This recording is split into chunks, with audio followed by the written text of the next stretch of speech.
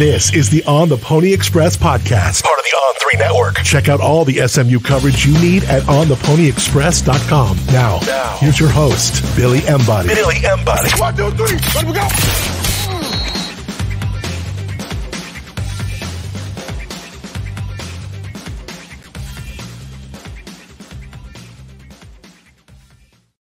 Ladies and gentlemen, to another edition of the On the Pony Express podcast. I am Billy Embody. Thanks for listening. We are at it this week. SMU is set to tip off in the NIT Wednesday night against Indiana State. But first, guys, we got to remind you that we are presented by our friends at StatusJet, statusjet.com. You can find them there with all the details about how you can get their premier service when it comes to chartering your next private jet. If you need to sell your plane, buy a plane, they are also available for that. David Henry and his entire team there at Status Jet can help you out with whatever you need uh, when it comes to a luxurious way to travel. You can give them a call at 866 488 3290. You can reach out to them and share the code PonyUpACC for a discount on your round trip with Status Jet. You can also mention on the ponyexpress.com to get that help as well. And they'll hook you up. Uh, we can assure you guys, you guys are in great hands with them over there. And if you need a little bit of help, if you're in a pinch when it comes to a travel plan, as they can help you out. Uh, get you on a plane quickly and to point from point A to point B safely, easily, and with you know the last bit of spring break uh, time coming up, or whether it be a big trip in the future. Look into them and and see what they can offer you, your friends, family, when you're looking at planning your next trip. So we appreciate Status Jet, our presenting sponsor and a proud supporter of SMU Athletics as well. Let's jump in here. Last time we spoke, SMU got a commitment SMU was and potentially maybe still be at the bottom when it comes to basketball right now, but they do play on and they will play in the NIT on Wednesday night against Indiana State, a team that won the Mountain Valley uh, Conference as the regular season champs and then ended up losing in the championship of the tournament and therefore are not playing in the NCAA tournament. They're a one seed. SMU will be up in Terre Haute uh, for a 6 p.m. Central matchup on ESPN Plus. This is the first opportunity to see the Mustangs in the post game in the postseason under Rob Lanier and his staff after just winning 10 games his first year. They obviously doubled their win total. We know that they've lost five of their last six. We know that they are coming off of a quite frankly brutal loss in the AAC tournament to a Temple team that um, even though they advanced well into the AAC tournament and ended up playing for an AAC championship, that is still something where SMU should not have fallen to that team. Uh, Chuck Harris being down or not, that is something that can't happen. And um, look, we met with Rob Lanier Tuesday morning, uh, bright and early, before they traveled up there uh, to Indiana to face uh, Indiana State. And a lot of it, look, we checked it checked up on Chuck Harris. Chuck Harris is not 100% by any means, but he is going to play. He was able to practice. Uh, he actually got nicked up again in practice and and bounced right up. Rob Lanier said so. He's good to go. He's going to play, uh, which will be important for SMU. And uh, at the same time, the transfer portal window is open. There haven't been any SMU players that have entered just yet, but uh, we will be keeping an eye on that because Rob Lanier was pretty straight up uh, when I asked him about the portal and balancing all of that. And he said it's not something that he and his staff uh, really consider to be um, too big of a balance to work through. They can reach these kids very quickly, whether it be FaceTime, phone calls, Zooms, uh, virtual campus tours, things like that. They can get some of these players that they're going to go after uh, they can get to them relatively quickly and and start moving things in the direction they want to. And if SMU does win uh, this game and does move on, uh, they will continue to play uh, T, of course, uh, but they'll they'll be able to balance uh, that and still get official visit, visitors on campus for this because the second round games do not start um, until the 23rd and 24th. So that is Saturday and Sunday. You would be able to host an official visitor during that time as well. So it is kind of just a strange time if SMU were to advance and were to find a way to be at home at some point.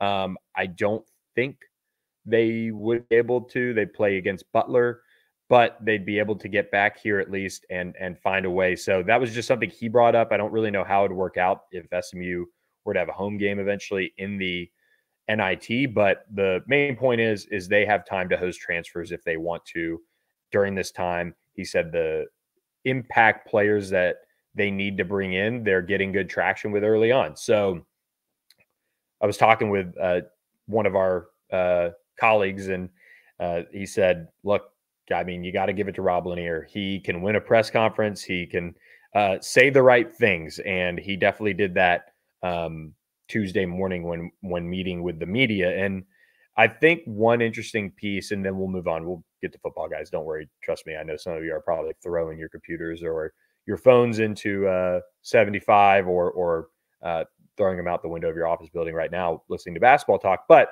um, they check the right image, at least in press conferences. And uh, he needs to bring in, in impact players, which look, two signees in the 2024 class, Sam Williamson being the only one that is out the door from this team. He's saying right now there are going to be multiple pieces that move on in all likelihood for SMU. Uh, and that's how you bring in instant impact players, which is what Rob Lanier said they're going to do. And he said there's been good traction on that front already. So whether they're in the portal, whether they're not, I don't know. Uh, but uh, there will be plenty more basketball players that do enter the portal, and SMU has to land quality transfers that can help this team right away when it comes to the ACC. And look, um, I don't really want to get into too much of what's his future on the podcast. I just don't, you know, a lot of people ask me on the board. A lot of people want the gut feeling and things like that. And look, I, I think whenever there are discussions about the future of a program, things can, I don't want to say change in an instant because when you go through your evaluation process of a program, it takes, if you're doing it the right way, it takes time. It should be meticulous. It should be over the course of multiple conversations with the leadership and the coaching staff and even players to an extent. And then you make your decision. And when it comes time to make that final decision and you're going to stick with it or go with it, it is an instant that it can change. So, some people who are at that point where they're calling for the head and they want to make a change. There is nothing about SMU playing in the NIT that dictates whether or not a change will be made. But one thing I credit SMU for is that Rob Lanier is continuing to go about his business and continuing to build this program the way he feels like it should be and the way that he wants to. And that is something that's important. And if SMU were to ultimately decide to make a move, then boom, you move on, you pay buyouts, you conduct your search, you do all those things. But the way SMU's handling for a for a good guy, for you know a quality human being, uh, they're going about this the right way. This is this is an ongoing evaluation, as it is year round uh, with a program. And uh, Rob Lanier is going about his work like he is gearing up for the ACC, and he knows that they have to take a considerable jump in the talent that they have. So, one other piece that we picked up from the press conference was this. I thought it was interesting that Rob mentioned that the way they set up this schedule was to give them a possibility of being included in the NCAA tournament if they came down to an at large bid, if they were able to take care of business. Now, we know the rest of that story. SMU did not take care of business down the stretch. They went from creeping up onto that bubble to falling completely flat and, quite frankly, backing their way into the NIT. Uh, we know that because there were six teams that said no to the NIT at least. Who knows if they really would have gotten in? But I'm pretty sure all the team, the six teams that said no, weren't were, were going to be in ahead of SMU, and we're probably going to be seeded too. I'm pretty sure. And SMU is facing a one seed. I mean, they are they are one of the last picks in a sense if you're talking about overall seeding. So um, this program has a lot to do. But Rob Lanier said that during that course of the season, when it did get to the point where they were starting to count wins and look at how they were impacted, he felt like some of the players maybe were doing that. And so I think that's obviously on a coaching staff that you've got to control. But maybe it spoke to some of the excitement around the players that, hey, wow, we've got something going here. And they did at that time. They just be starting to ride high and all those things. And they didn't handle it the right way. And they didn't handle it the right way on multiple levels. Uh, there's no question about that. So we'll continue to, um, you know, keep an eye on things when it comes to uh, that development piece of the program and him building the culture. Um, you know, as long as I mean, we're going to be tracking college basketball. I mean, here it's a big part of our site plan. I mean, SMU is going to the ACC. We're going to track this um, as close as closely as we can, and and we'll do it day by day as long as you know there's a ACC basketball conference for that that SMU is going to be in and and compete in because I mean this is high level stuff and there is a sense around the program that they've got to go out and address this roster and do it with impact players, which we'll find out. You know, Rob Lanier is putting his money or his, yeah, I guess his money where his mouth is. So uh, we'll see how it all pans out and and go from there. But uh, stay tuned on the ponyexpress.com. That's all I can say. When it comes to the football side of things, SMU was back on the practice field on Tuesday. Rhett Lashlee spoke with the media kind of quick. You know, it's almost like you're back to day one when it comes to getting back to it for this football team. They were on the field, and quite frankly, I mean, the the defense, you know, really took it to SMU uh, early on. If you're watching on YouTube, you'll see this uh, some of these clips here. Um, and actually, Rhett Lashlee started over this drill, so this is a second iteration of it uh, as the tempo period for SMU. It's usually it's just kind of to get the blood flowing. You don't see too many big plays and things like that like you do in a normal team period, but um, the defense was able to get a lot of pressure. They were able to uh, kind of create some uh, disjointment uh, with the SMU offense early on in practice, and I think a lot of that credit goes to the defensive line and, and just coming ready to play. Rhett Lashlee was pretty intense uh, during this team period, the early tempo period, and and at certain points as well throughout practice. I mean, the defense definitely came back ready to go on day one of spring practice after spring break. Uh, that is, and I I think it just continues to speak to where this team is at. You know, it's an offensive line that's missing two key players in Ben Sparks and Logan Parr. They're going to go out and address the offensive line portal at some point, and you know, other than that, when and it, it's tough when you're in practice, and I think we can look back on this and really see, and even back to last spring, the way the defense dominated SMU's offense throughout the course of the last, you know, year, and the offense got, you know, has gotten, you know, its own fair share of, you know, big plays and things like that. Don't get me wrong, but we've seen SMU's defense get after this offense more often than not practice. I mean, they're one of the best defenses in college football, um, and they're hoping to do that at a higher level when it comes to the ACC. But with Rhett Lashlee's offense, you're seeing still some developing that needs to happen. And I think we are starting to see that whenever you're in practice and you're going good on good, though, in my opinion, through through my experience, I always seem to think wow, you can really see when the defense is doing good things and it kind of sticks out to you more than it does when the offense completes a pass, picks up a first down, because it's all not fleshed out in a full spring game or live scrimmage. For the most part, it's all team periods and and seven on sevens and things like that, where it's controlled the number of reps. You don't see a drive develop and things like that. And to that point, though, the defense has been able to step up because of this defensive line. And we know that Blake Burris, the Texas Tech transfer, a big 300 pounder, is going to come in this offseason. We know that they're going to continue to try to address the cornerback spot. We know they're going to try to bring in another defensive lineman. But the offense when you don't have your offensive line just completely in order yet, and especially when you're missing some talented depth pieces, then it becomes apparent more quickly when Keldrick Luster comes out. And we saw this at times last year with Kevin Jennings in the second team offense. Wow, it's so apparent that, okay, the defensive second unit is playing at a much higher level than the offense's second unit. And so there's going to be days that the offense is going to bounce back and, and make plays and do all those things. And Kevin Jennings, honestly, I mean, I, I've been really impressed with him in in spring practice, just what he's been able to do, being able to throw the football over all over the yard, really.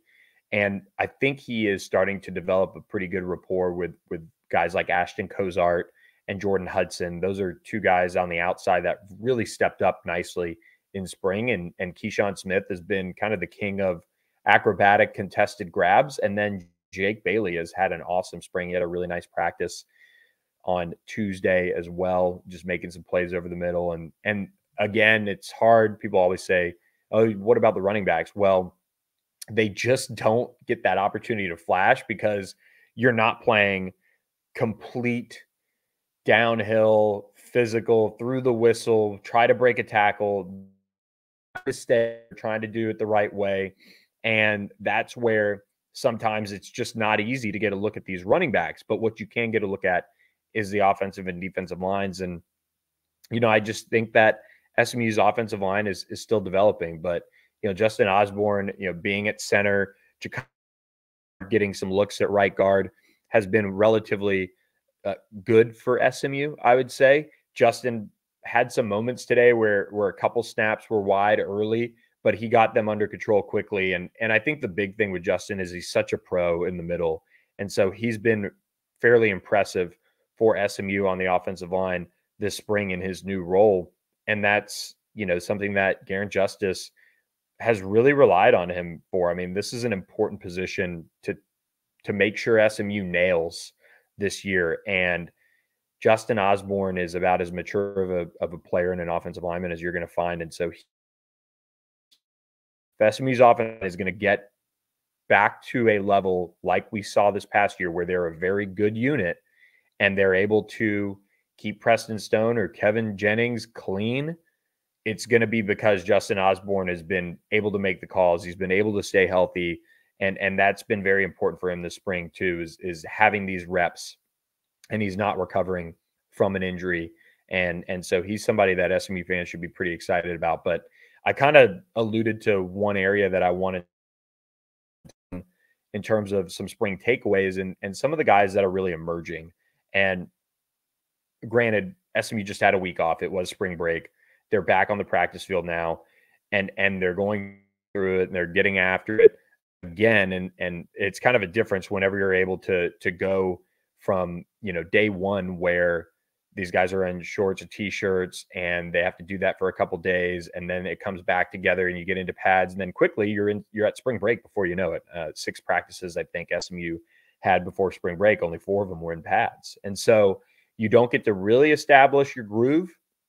But once you got back from spring break, I was uh, pretty impressed with the tempo that SMU at least went with. The execution offensively on Tuesday wasn't as good as you would have liked to have seen. And this is these are clips from earlier in spring ball if you're watching on YouTube. But the defense and offense both brought it, I felt like, from a tempo and accomplishing what they wanted to with regards to practice and practicing with a purpose. I just think the defense got very much the best of the offense uh, on Tuesday when we were out there.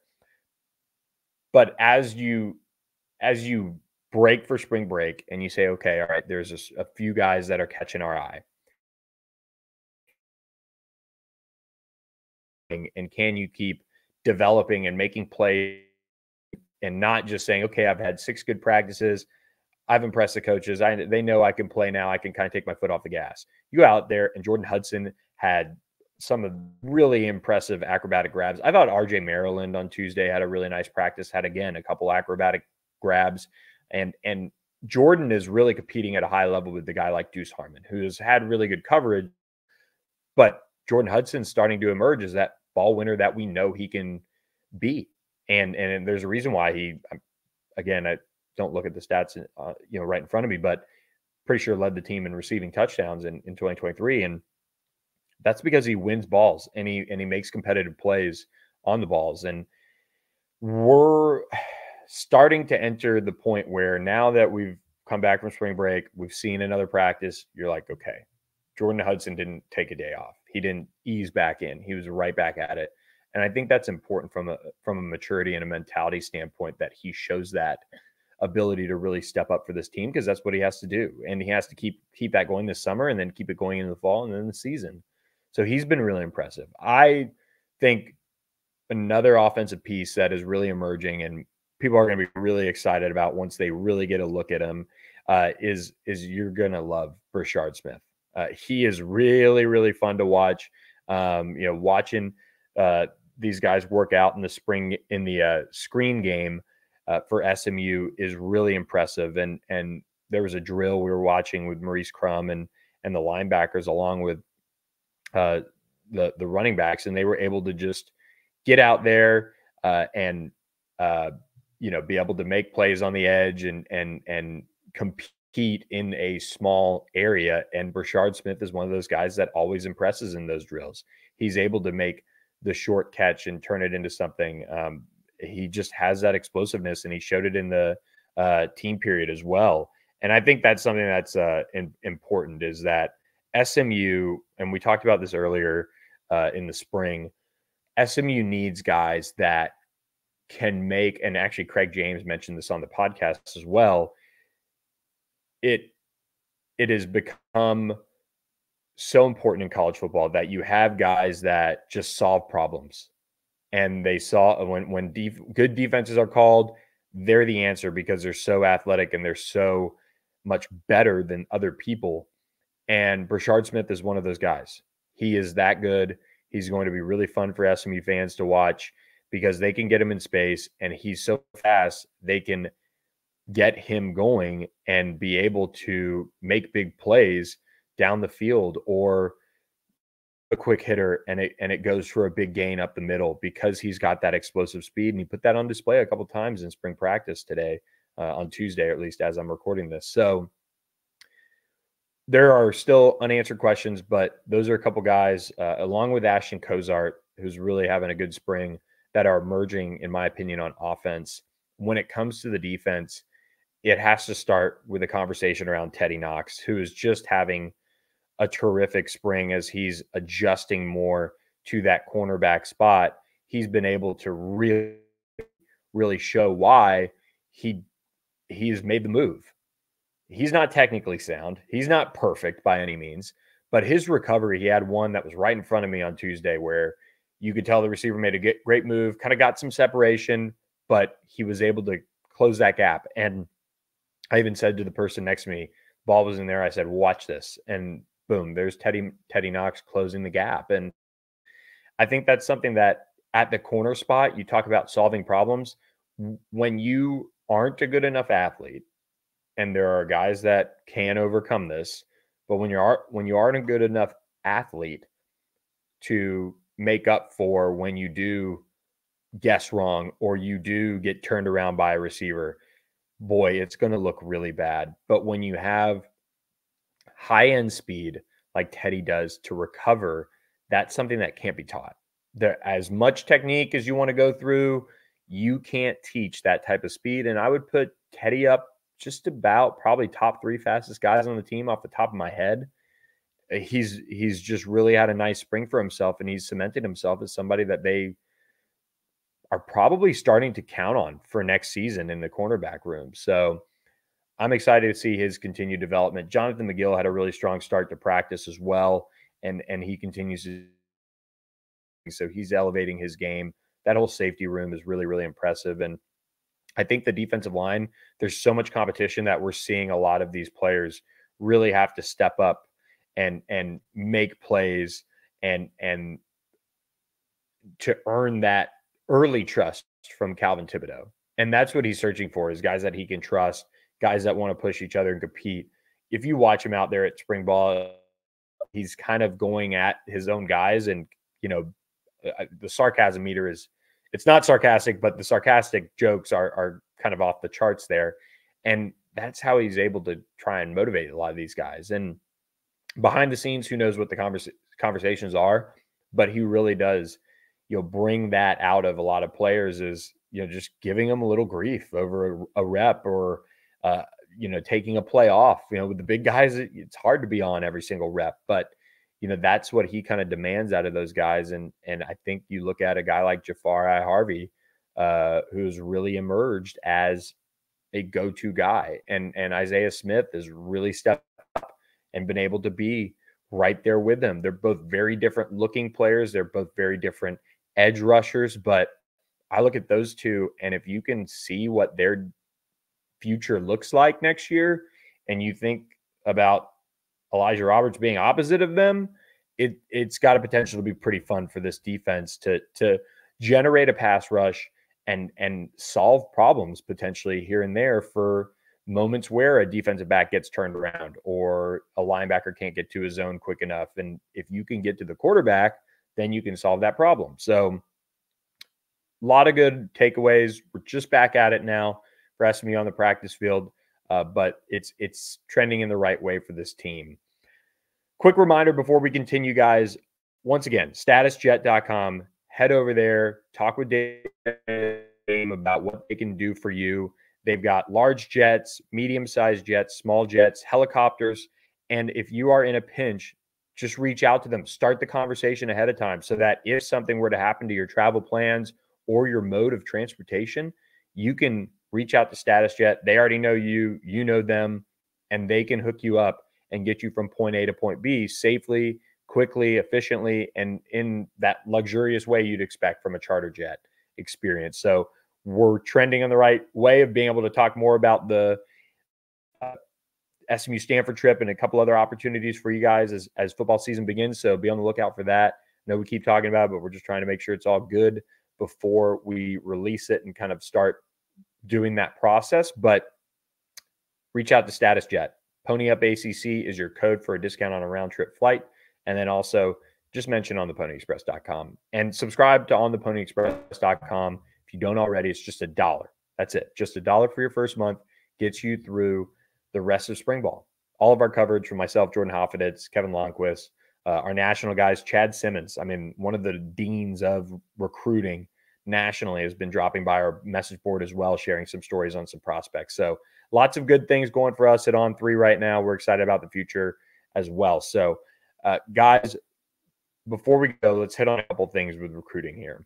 Um, official visits continue to get set. We're going to take an early look to cap this podcast on one of the top visitor lists that SMU fans can look at when it comes to uh, this program and, and what they're going to bring on campus next month. Uh, excuse me, almost next month uh, but in May. And the May 10th recruiting weekend is shaping up to be a big one. And you see the May 17th recruiting weekend. That's obviously getting huge. That's getting out of control. We're going to see, uh, we're going to share with our subscribers tons of info on all these weekends that are coming up and where things stand with these recruits. But you look at, I mean, four highly recruited prospects coming to campus that May 10th weekend Elijah Barnes, one of the one of the top uh, linebackers in the entire country will be on campus. Uh, he's from Dallas Skyline, so the product uh, uh Isaiah Nwokobia, who was uh, at Skyline as a as a recruit, uh, he went he goes to the same high school or went to the same high school that Elijah does. So there's some, some ties there. He's somebody that SMU's really hoping that the staying home piece really pans out. Some family uh, but he is uh, one of the high, highest recruited guys in the country. He was just at LSU. He's at Ohio State as I'm recording this. He, he'd be a massive piece for SMU in this class of 2025. You also have Ricky Stewart, a former SMU pledge, making his way to campus. He is teammates, of course, with Demetrius Brisbane. Those two in the backfield form one of the top duos in the entire country when it comes to production. They're going to be back at SMU once again for official visits. So SMU is going to hope to get Ricky on board or back on board, I should say. We'll see. It's going to be a tough battle for him. Uh, and and SMU has three safeties committed already, so it's going to be interesting to see what happens with Demetrius Brisbane as well. But they're not just bringing in Ricky Stewart in the backfield. They're bringing in Jasper Parker, who's kind of a new addition, but he is a very, very highly recruited prospect at this point out of the New Orleans area, goes to Archbishop Shaw, uh, and, and is really one of the top running backs in the region. He picked up Alabama, he's picked up Florida State, he's got Oklahoma State, he's going to check out, but he's going to officially visit SMU May 10th. And I think he might come down for an unofficial before that. But, you know, Kyle Cooper is really honed in on him as, as one of his options for this class of 2025. And he had 20 over 20 touchdowns last year for uh, he split time uh, with with uh, a bunch of backs, so um, or a couple backs uh, when he was at Holy Cross as well. So he has the potential to really be a, a breakout type of prospect as the summer turns into the fall for these senior years. He's he's somebody that you know. Again, you you aren't you aren't where you are as a prospect when you have Alabama's and programs like that offering you in the month of January of your junior year when you're recruiting, you know, start to really heat up. So Jasper is a really good fit for SMU too. I'm interested to see how things go on that official and if SMU can can reel him in.